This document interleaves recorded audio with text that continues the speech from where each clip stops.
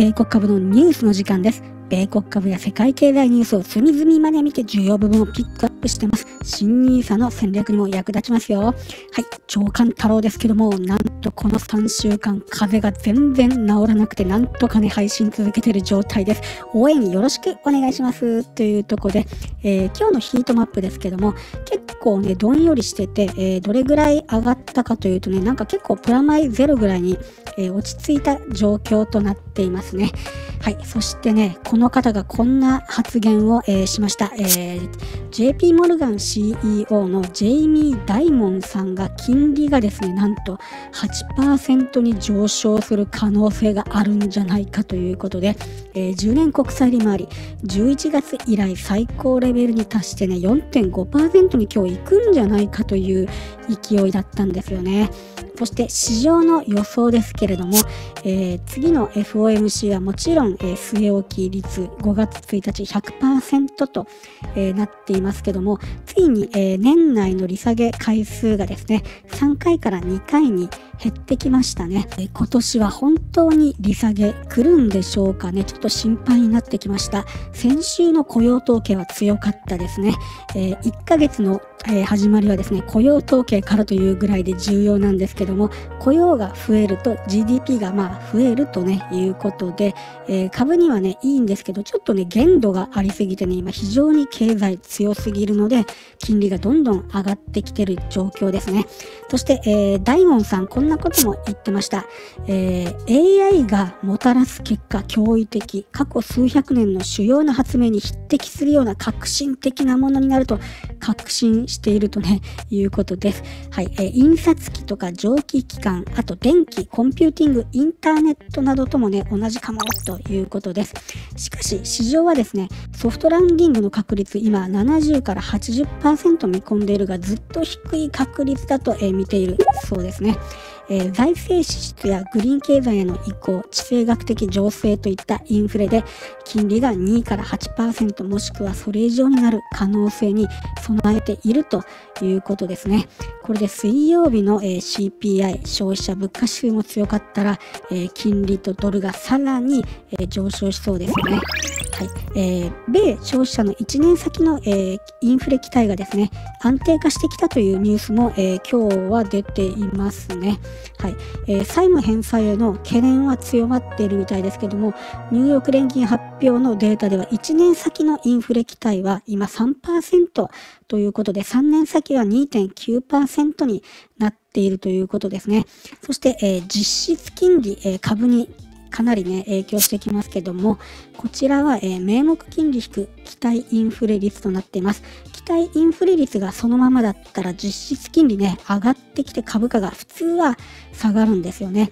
今、えー、実質金利がね、ずんずん上がってきているという状況の4月となっています。そして今ね、ちょっとおかしな状況がね、えー、発生してるんですけど、青が実質金利でじわっと上がってきてるんですけども、SP500 それを無視するかのようにね、一緒にというかさらに急角度に上昇しているんですよね。もう恋の滝登り状態。これはね、やっぱりここのカップウィズハンドル効果がルーでね、伸びていってるようなね、えー、気もしますけども、10年金利が4.5%になったら、大きな調整が始まるような気もしますが、えー、今週から、えー、決算も始まりますね、えー、この上昇を正当化するような EPS の、え上昇が見られるのか、それともセルイン名に突入してしまうのか、はい、保有しているのは株ではなく未来への希望です。いいね、チャンネル登録、 Super Thanks よろしくお願いします。それでは、米国市場にズームインはい、じゃっかじゃん。今年からなぜこんなに金利がね、上がってるんでしょう。2024年、上がっったり下がったりしながらだけどね、4.422ということで、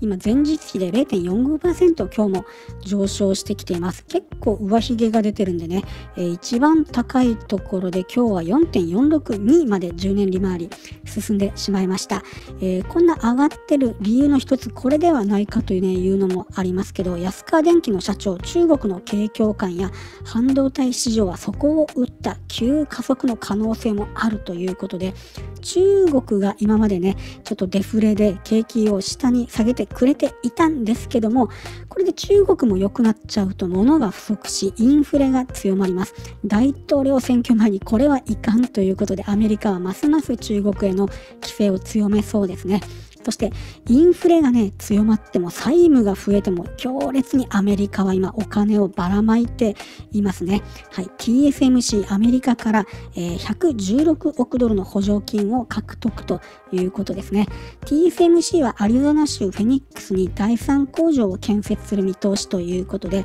第1第2工場は2025年と2028年に、えー、稼働するみたいですね。えー、今回の支援はアップルや N NVIDIA 向けに半導体を供給する3つの工場の投資、これね、650億ドル分を、えー、ね、さらに下支えするということに、なります。そして TSMC は投資計画を250億ドルも拡大して650億ドルとして2030年までにアリゾナ州第3工場を建設することに同意しました。TSMC は18日に会見を行い Q2 の展望を発表するということなんでこちらはね、えー、注目となりますね。はい、そして、えー、市場はね、前年比17から19%というね、結構高い、えー、成長を、えー、期待しているみたいです。えー、TSMC25 年に台湾でまず2ナノの製品を生産する計画です。そしてね、えー、今ね、結構まあ半導体とかね、えー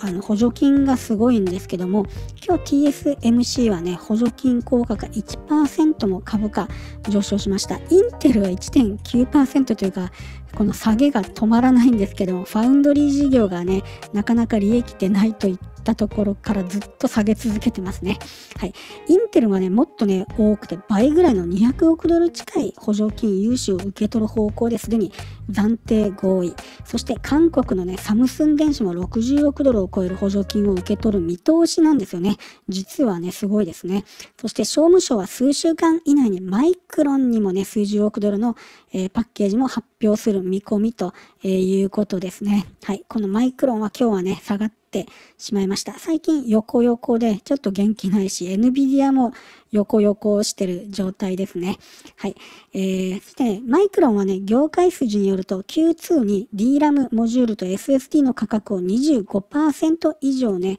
えー、だんだん引き上げていく予定だとね、いうことを顧客に伝えているということなんで、まあこれはね、いいですよね。ただまあちょっと、あの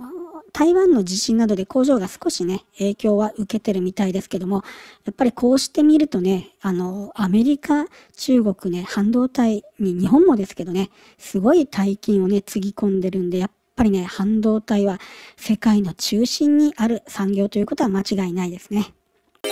はい、ジャックジャン。じゃ次はですね、今最も熱いかもしれないテスラの、えー、ニュースです。今日はや4.9%上昇しました。まあ引きで見るとね、そんなに上がってはないようなチャートに見えますけども、えー、イーロン・マスクさんが、えー、ロボタクシーを8月8日に発表するとね、先週述べたんですよね。はい、これはね、大きい話ですよね。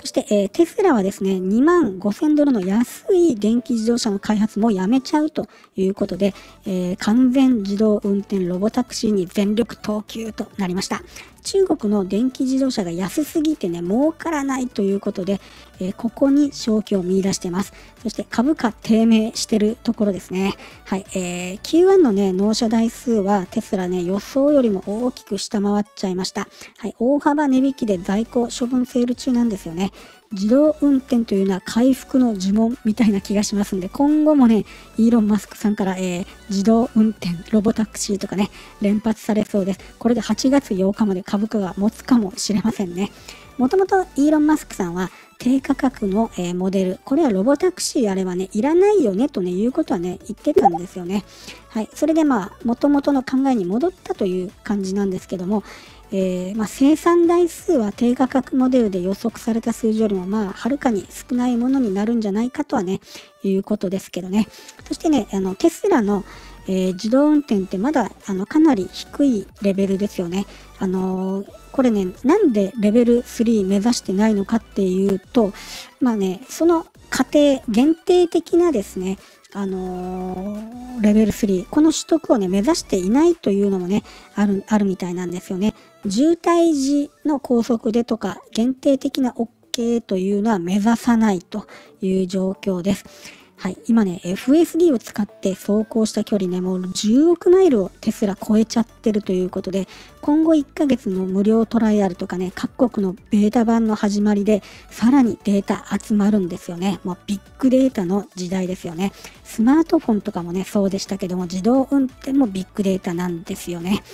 そして、えー、人のね、運転と違うところは全ての車両のデータで学習できるんで、どんどん高まっていって、上手い人、下手な人とかなくてね、みんな同じスーパードライバーになる可能性があるんですよね。未来は事故ゼロで渋滞もね、タイミング良くなってなくなっちゃうかもしれませんよね。はい、で過去5年間販売された車はね自動運転車に変身できますしさらにね買った車もねアップデートされてどんどん上手になっていく未来が待っています NVIDIA の H100 をね使って学習できる機能を構築できているのは今のところテスラだけということなんですよね。そして Way も、えー、こちらはですね、Google の、えー、サービスですけども、えー、まだね、テスラの50分の1しか走っていません。ただね、まだ法律の問題とかがあるので、実際にですね、アメリカできちんとね、走れるようになるにはまだ数年間はかかりそうですけども、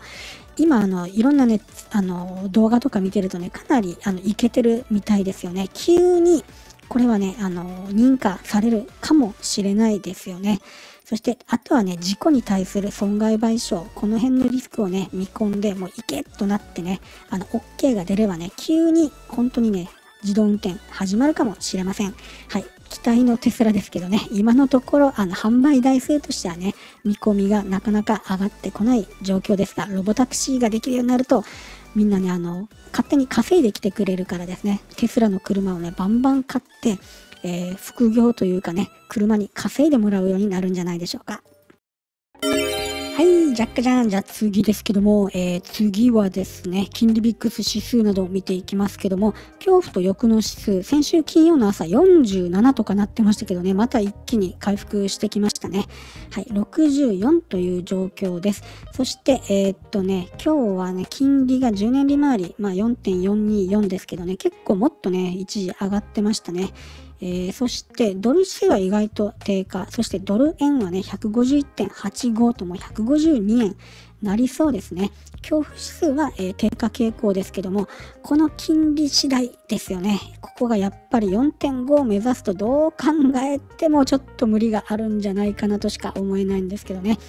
そして今日金利が上昇したのに小型株が一番上がって0.5%ラッセル2000上昇です。SP500 ダウナスダックほとんど動きないゼロといった状況で CPI 前の様子見でしょうか。で原因は微妙に下がりましたけどね、まだあのチャート見ると全然上昇トレンド真っ只中といったような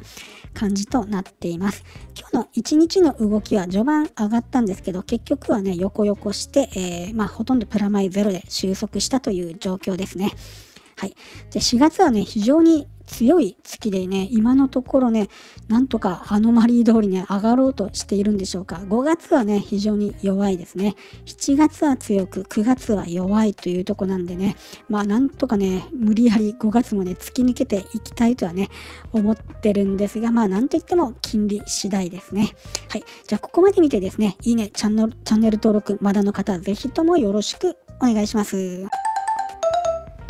はい、ジャッカジャン、じゃあスプレッドシートでマーケット全体を見ていきますけども、結構ね、ローテーション始まってるんじゃないですかね。なんか AI 系が下がってね、資本財とかがまた伸びているという状況だと思いますけどね。今日まだよく見てないんですけどね。はい、見ていきますけども、えー、ドルはちょっと若干各通貨に対して弱い。そしてね、仮想通貨ね、一気に来てますよね。ビットコインとイーサリアムまた上昇。やっぱり半減期、ちゃんと来るみたいでしょうかね。はい、4月ですけどね。はい、えー、そしてね、ゴールドもね、また上昇。これね、金利が低下するときに上昇するというのが一般的なんですが、金利上昇中でもゴールドが上昇。そしてね、月曜日、水曜日、金曜日に買われてるみたいなんですけども、まあ、中央銀行が買ってるのはね、あるみたいなんですけども、それと、えー、まあ、金融トレーダーとかね、みんな一斉に買ってて特定の誰かではないということですね。そしてなぜかね、ETF がそんなに買われていないということなんでね、ちょっとね、金、謎ですよね。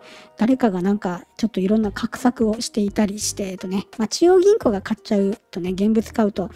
動かなくなるというのはね、ありますよね。はい。そしてね、えー、あとですね、どんどんいきますと、まあ、原油、今日はちょっとだけ下がってますね。えー、そして指数は1週間ではちょっとね、赤いですが、1ヶ月ではまだプラマイゼロぐらいをね、維持しているという状況ですね。そして、えー、中国の CA 部0.8%上昇、ポーランド1.9%、トルコ1.4%と、上昇、アルゼンチン1.3%、あの結構インフレがひどいけど、金融政策やってる国が、えー、上昇強い傾向がありますね。はい。まあ、インフレしてても金融政策次第というとこでしょうか。地銀の3倍ブルーは今日5%、えー、リバウンド、えー、してますね。はい。そして今日のセクターはエネルギーマイナスですね。えー、っとね、あとね、資本財もちょっと下がっては、え、いると。半導体は若干プラスとなっています。はい。今ね、高値圏にあるのが金融資本財、素材、一般消費財とね、いうところで、まあ、景気が良くなるとね、上がってくるようなところがね、強いですね。やっぱ景気強いんですよね。エネルギーとね、通信も来てますね。はい。まだ赤く点灯してるところはない。みんなね、えー、右上に向いたチャートをしてますね。そしてマグニフィセント7ですけれども、えっ、ー、とね、この1週間というかね、メタがね、今日ちょっと途中から下がりましたけど、えー、強いですよね。1週間で5.7%ということで、メタが非常に、えー、強いと。前回のね、決算ではね、一気に20%も上昇したんですよね。そして初の配当などの、えー、発表もありました。はい。アマゾンもね、次発表出すんじゃないかということでね、え、期待されてますね。ものすごい、あの、フリーキャッシュフローがあります。はい。えー、そしてね、ミーム株は今日は、うん、小型株上がってますけど、この辺は売られましたね。はい、コインベース仮想通貨が良かったんで上昇。他は AppLovin が4.4%上昇。今、最も強い情報技術の、えー、株の一つでしょうね。これ1年で400%ぐらい上がってます。はい。ガチホしときましょうかね。